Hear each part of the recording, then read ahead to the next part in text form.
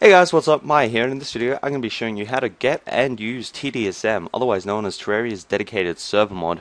In my opinion, the best server mod out there. It supports Mac, Windows, and Linux, and it works on all three of them. It doesn't just support them, it works on all three of them. I, I know some of the other server softwares have actually said they support all those ones, but uh, then they actually had trouble getting it to work on the other operating systems. So, what's so great about this latest build? Well, uh, as you may have noticed, a little while back, Death Cradle did say he was going to stop development, but uh, he has kind of kicked back into overdrive really, and he is just pumping out the code for this. So uh, the things that he added was, you know, just the standard things that you do need for the server. So, uh, you know, the option to set it to hard mode and to support hard mode, all of the new NPCs, items, things like that added in 1.1 and 1.2, including the invasions. Uh, it's also added more hooks for the new bosses, snow, there's better server properties and command line arguments. You can also change your language in this program if you want and I will be doing a video tutorial on how you can do that but it is very very easy. There's also some API changes uh, some better commands and certain NPC spawning when summoning is disabled. There's uh, also better code names and standard tile compression for uh, better memory. There's also a world gen uh, and modify function semi overhaul and last but not least, and probably the best thing, a player sandbox. So if you have someone that comes onto your server, they look a little bit dodgy, all you have to do is mark them. Once they're marked, the server will log every single block they destroy. And basically, you can just tell if they're griefing, uh, you know, where they've griefed, what they've griefed. And at the moment, they are working on a plugin so they can actually restore all those blocks. So at the moment, it's really, really handy if you want to log a griefer, see what they're doing, if you don't trust them, or if you don't trust a new person on your server. You can use this to log what they're doing. And then later on, when the update or the plugin is released, you will actually be able to restore all of the blocks that the player has damaged if they are a griefer. Now, that we've done all that, let's get into actually downloading TDSM. So it's really easy, just go to tdsm.org, there'll be links for all of this in the description, click on forum, and now that you're here, there is going to be a whole heap of links up the top underneath underneath the information tab. So the ones that we want to check out are going to be the latest TDSM build and the language tool. It's also important to recognize that there is a couple of other useful links. So if you want to view the source code of this program or even help work on it, go to the GitHub. If you want more information, check out the wiki. And, well, yeah, that's about it really. Okay, so now I'm going to show you how to use it once you have it.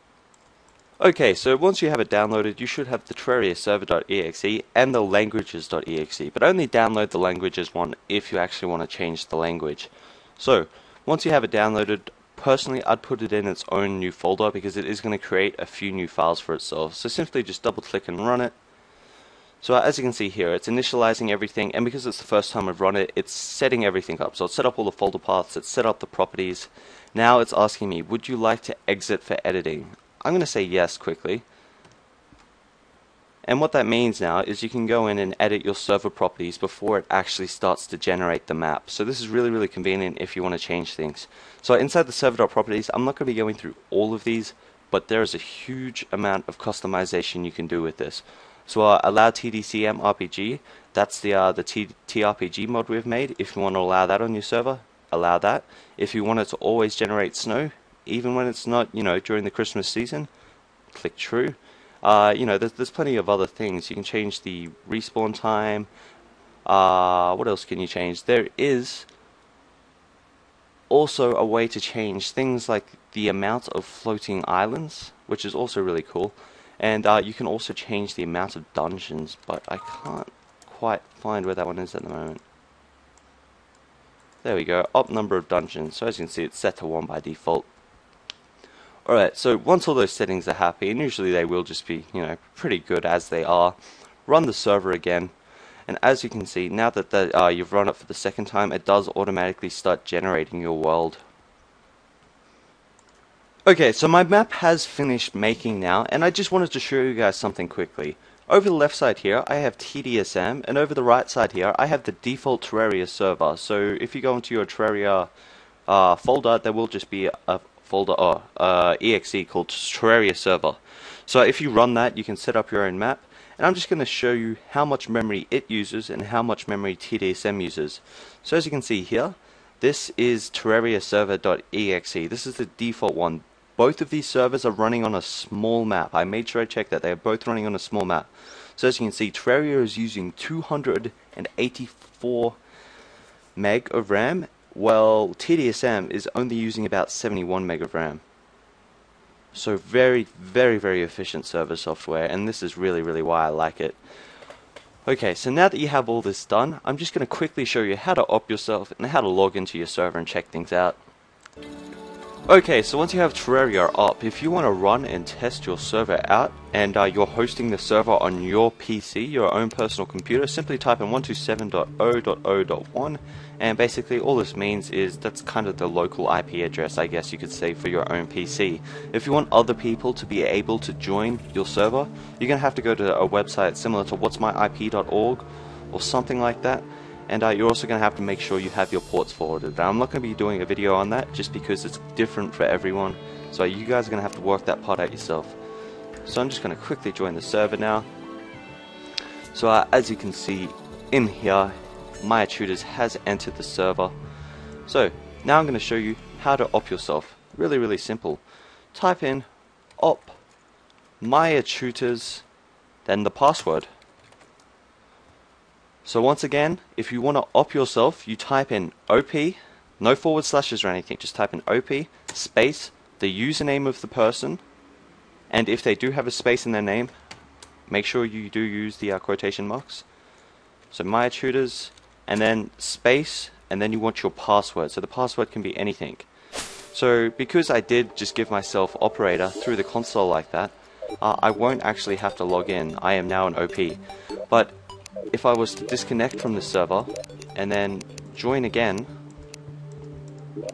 I would have to log in. So if you want to do that, you just simply, in the game chat window, go forward slash op login and then type your password. So mine was ASD.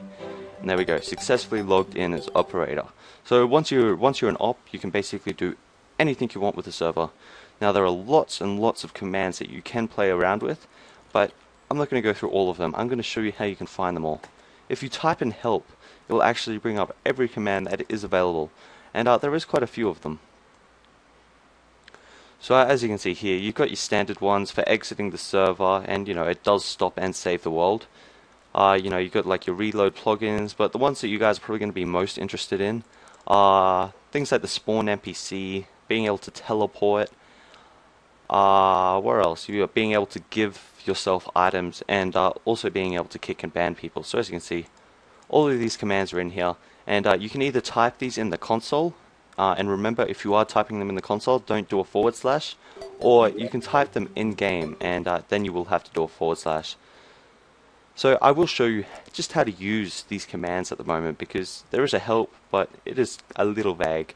So uh, it says give and it says give a player items. So if you're going to actually give yourself items, go give Maya Tutors one, uh, what do we want? Ivy Whip. So yeah, that's how you do it. Simply type in slash give space, the username, and just remember all of the commands have a similar sort of layout. So if you want to spawn NPCs, it's going to be exactly the same, except you change give to spawn NPC, and you change the name of the item to the name of the NPC. So give Maya Tutors space uh, 10 Ivy Whip. And uh, it's important to note, if the item does have a space in it, don't, don't include the space. Just type in Ivy Whip like that. And boom, give myself 10 Ivy Whip. So that's how you guys can use TDSM. This is just a basic tutorial. Like I said, I will be doing more tutorials on, uh, you know, some more of the more in-depth stuff and uh, how to use the player sandbox, things like that if you're, you know, interested in anti-griefing. Now, before I end this video, I am just going to do a little request, I guess you could say. Uh, at the moment, Death Cradle actually runs a website that is basically just a list for all Minecraft and Terraria servers, and I will be including a link for that in the description. At the moment, it is in desperate need of operators. So if you guys have, if you guys are interested, basically, in running a website, all you need to know is just basic computer skills. You need to, you know, know how to activate people's accounts if they need it. You need to, you know, know how to basically just use a web interface. So if you can do that, just uh, go over to tdsm.org and send an email to Death Cradle if you are interested in that position, and he will give you a lot more information regarding it. There will be a link